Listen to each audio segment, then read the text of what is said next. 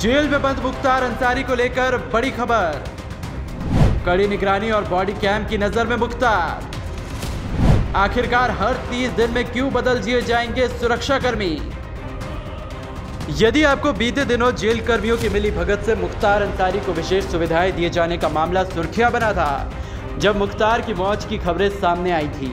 मगर अपने गुनाहों की सजा काट रहा बाहुबली मुख्तार पर योगी सरकार कोई रहम के मूड में नहीं है। तभी तो बांदा जेल में बंद मुख्तार अंसारी पर जेल प्रशासन ने पहरा और भी कड़ा करने का फैसला लिया है।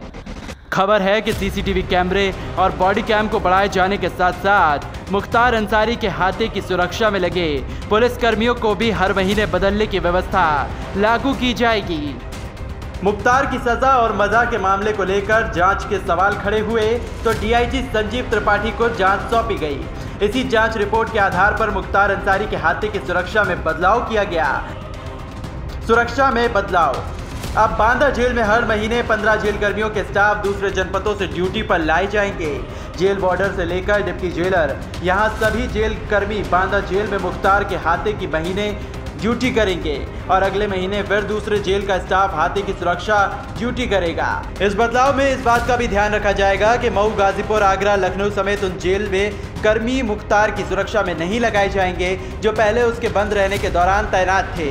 मुख्तार अंसारी के हाथे में और 20 सीसीटीवी कैमरा लगाए जाएँगे।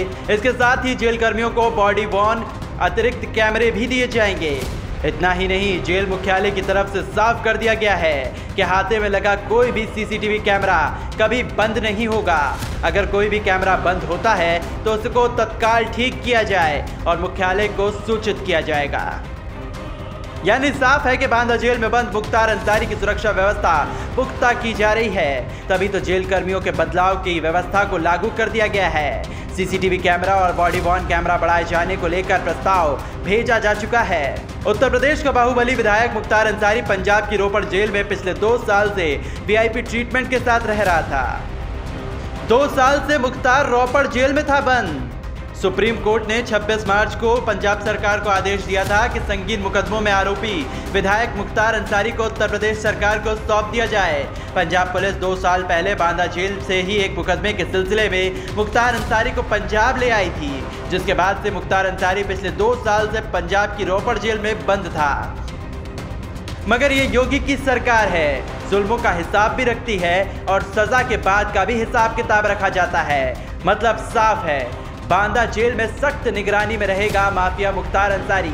कोई वीआईपी ट्रीटमेंट नहीं मिलेगा। Bureau report, news world India.